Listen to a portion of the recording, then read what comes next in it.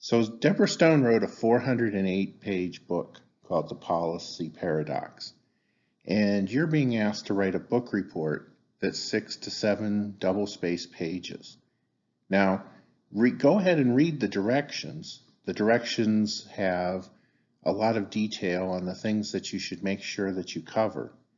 But one of the first things that you'll note is that you probably cannot uh, deal with policy paradox in the same detail, right? You might be used to taking an English course where you're reading a 20 stanza poem and you're writing a page about it and you say, well, you know, I'm writing 500 words or I'm writing a thousand words about a thousand word poem.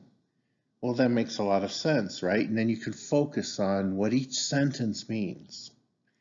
But I think when you're looking at an assignment where you're supposed to uh, analyze a 400 page book in six to seven pages, you're going to have to pick and choose what you think is most important. And I did this on purpose, really. One of the main reasons we aren't just taking a test on Stone is because I suspect that each student was going to find a somewhat different a view of the important parts of policy paradox uh, as it relates to uh, their own uh, interaction with policy analysis. So, you know, in policy analysis, we're doing a detailed examination of a public policy problem and we're selecting a policy and what we call an alternative to solve that problem?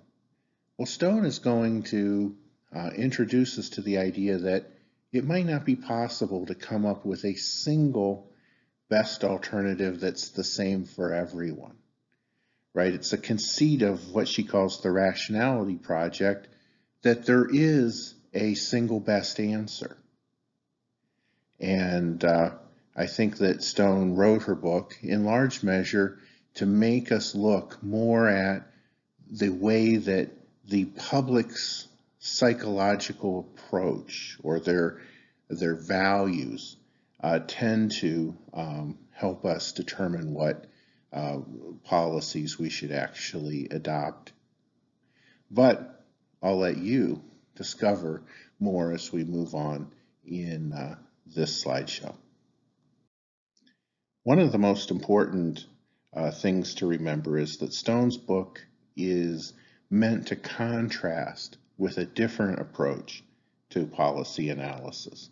In our course, uh, we're going to be looking at a modified view of this, uh, the, um, the Bardach book.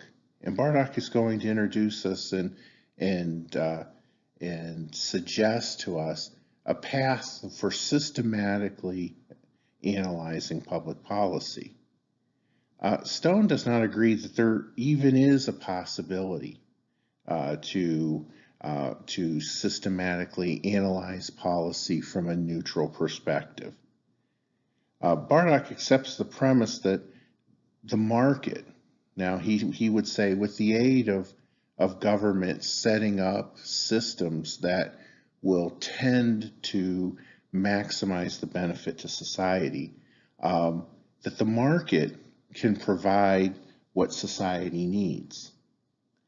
Um, now, Stone does not begin with this premise, and in fact, a lot of what she does is she talks about the limitations and problems with this assumption. Um, whereas the rationality project, as she calls it, that's almost a slanderous term for uh, rational choice theory and the market-based approach to policy analysis, um, that we're actually going to look at several articles and we're going to have many slides that are going to help us understand even a more pure view of, of uh, the rational choice model.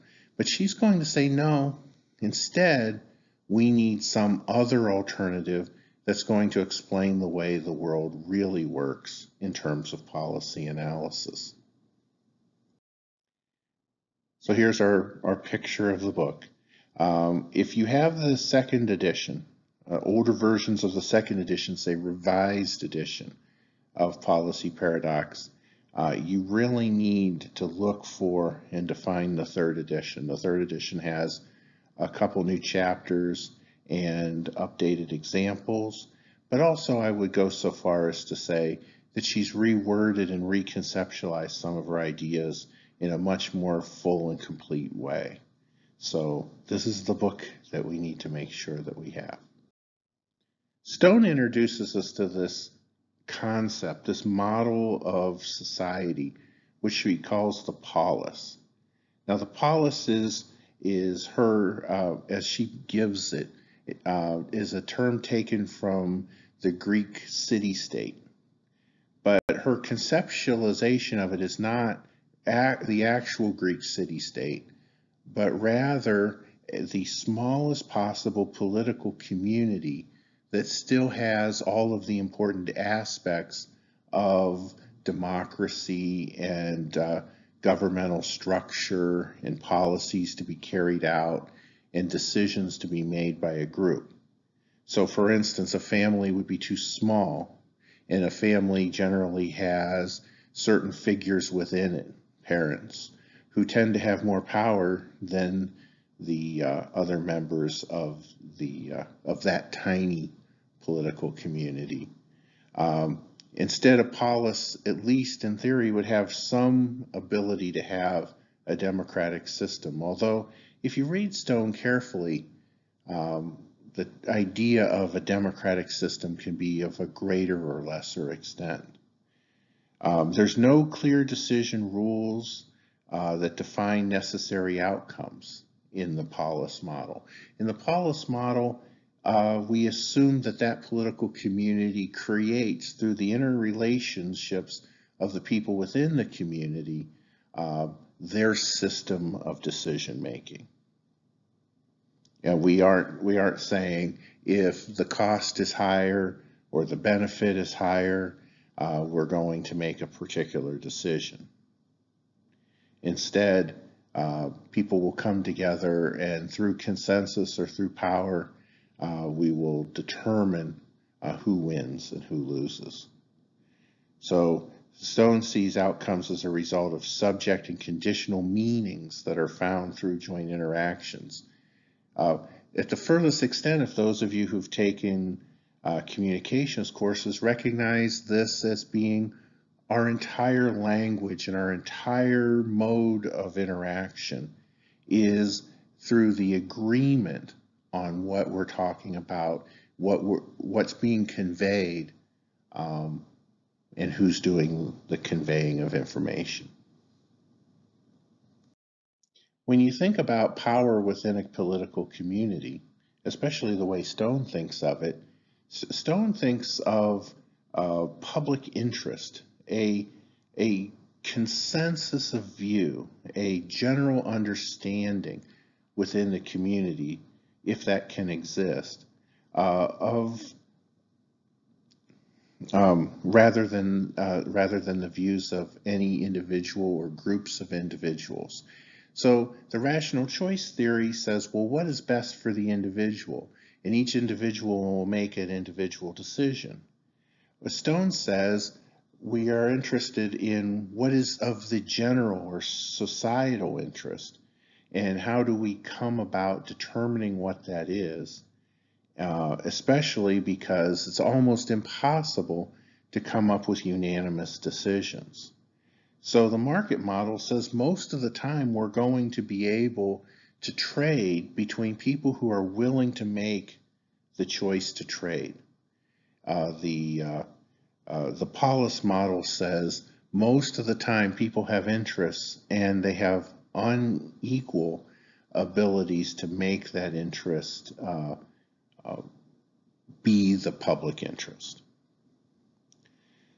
Now, I'm not sure that there can even be a, such a thing as a public interest.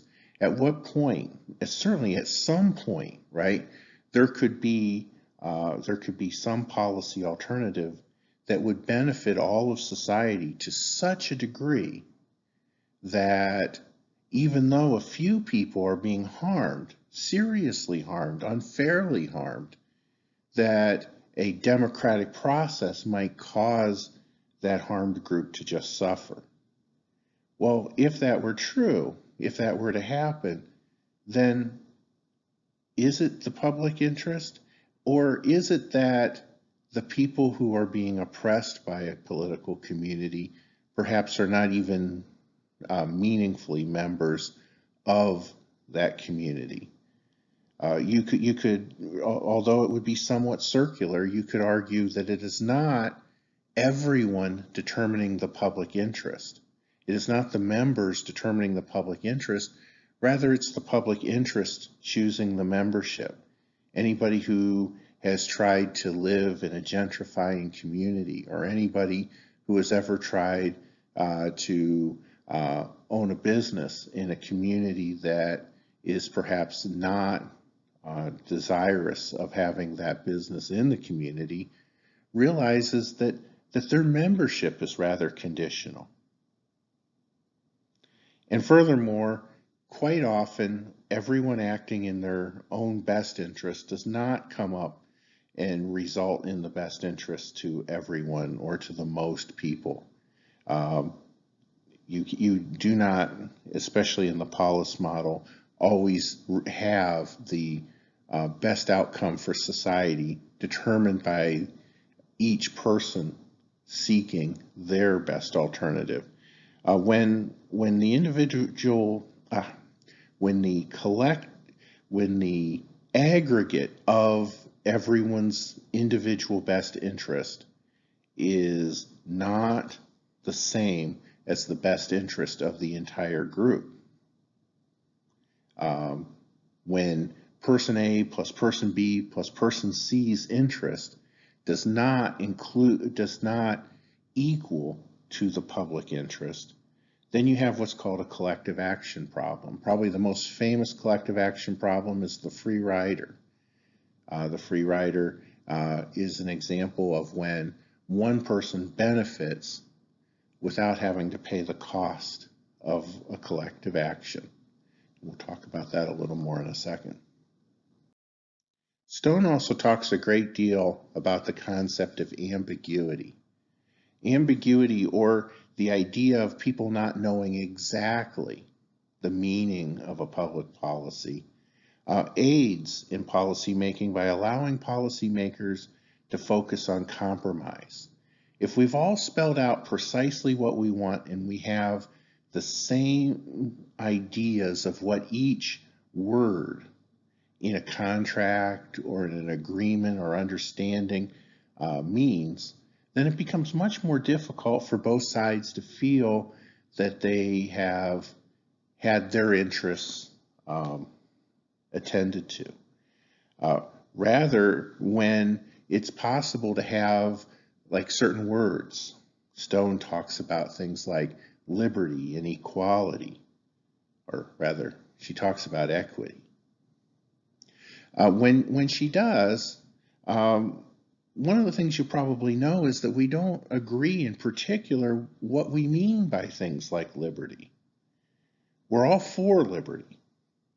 You will find almost nobody who will ever say, I am personally against my own liberty. In fact, you'll rarely see people who say, I'm against you having liberty.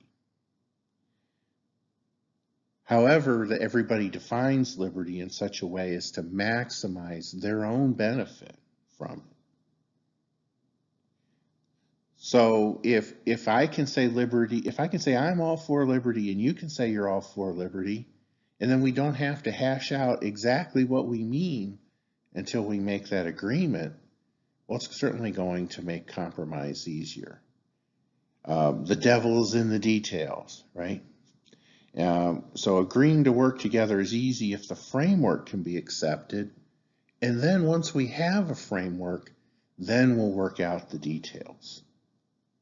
It's always it's it's it's it's always easier to to compromise once you feel that the most important decisions have already been made. So uh, fun little cartoon I found here. It's so sweet. He wrote me a letter, and I think here in paragraph 8, he's asking me out. Well, maybe, maybe if, if generally speaking you want to be asked out, right? But wouldn't the perfect letter be one that causes all people who wish to be asked out to feel like they've been asked out, and all the people who wish not to be asked out to feel as though only most the most proper letter has been sent them. Uh, we usually think of ambiguity as bad, but whether we think of it as bad depends on you know on, on what those ladies were wanted, what the two people who are debating equity want, whether uh, you know whether you think that your business is looking out for you or whether you think that it is looking out for itself. Well, it's okay to believe whatever you want. Um, it's much better if you feel attached to where you're working, right? Um, and so if every day is an endless debate over exactly who gets what percentage of what, um, well, that's that's uh, perhaps why that we have small print, right? And if we uh, if everything was in large print, it would be a lot more difficult for us to uh, come to agreements. Besides, a lot of people, a lot of people, what, what do we say? We're, we're big picture people, which means eh, we'll hash out the details and we don't mind if in the particulars it doesn't sound, it isn't as good as it sounds, just so it's good enough. I told you we'd come back to the free rider problem. So rational choice theory tends to view free riders as rare problems. We talk about the prisoner's dilemma. We talk about the chicken game. We talk about yeah, we, we, we talk about stalemates and stag hunts, and there's these particular specific examples of when uh, individual best interest and collective best interest is not the same. But we know, of course, that quite often there's very few there, there's there's very few goods that one person's overuse of it won't cause harm to others right? The tragedy of the commons is a very famous collective action problem where a few people determine that they can do better by overusing a resource that's essentially free to everyone. And if a few people overuse that resource then it will run out for the other people. One of the examples that you don't really get if you're from Ohio like me, um, but you notice when you move down here to Georgia, is the idea of, of water. Right? Water is extremely cheap. Nobody is ever going to go broke if the only water they use is the water that they get out of the uh, faucet at home and they use it to and, and you know they use it to drink water. Uh, on the other hand, if somebody is watering their lawn, yeah, one person watering their lawn is not going to hurt anybody. But let's say it's a drought. And let's say that in a subdivision, everybody decides having a green having green grass is better. Well, it would be possible, certainly in some of these Georgia communities, for for the water to run out. And then the things you need water for, like drinking and doing laundry and such.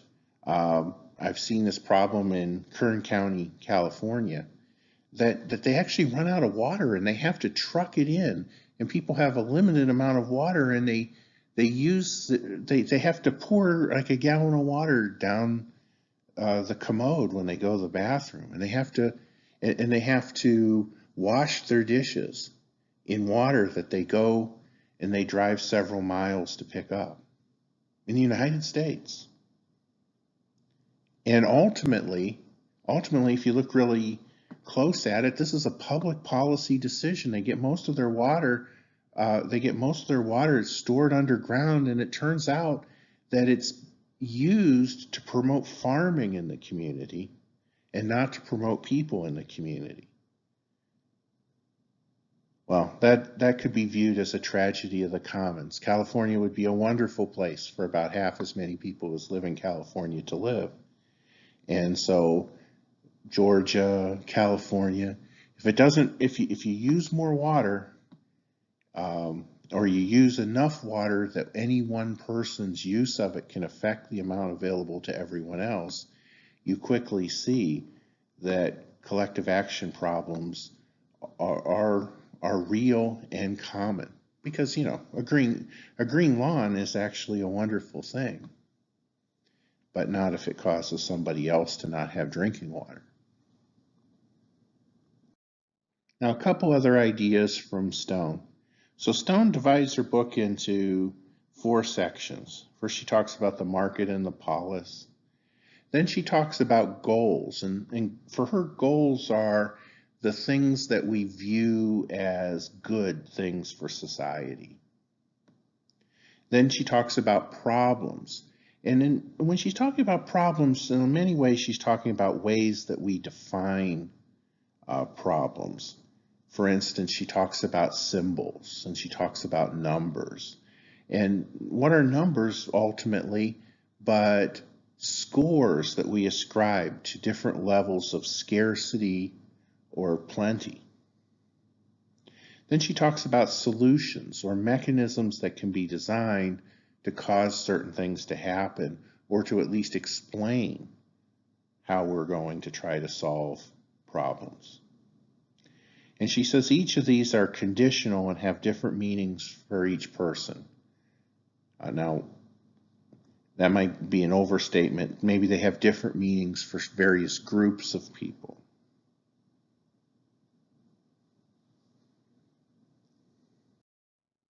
So finally, we'll finish with uh, a few things that you should look at as you're reading the Stone book.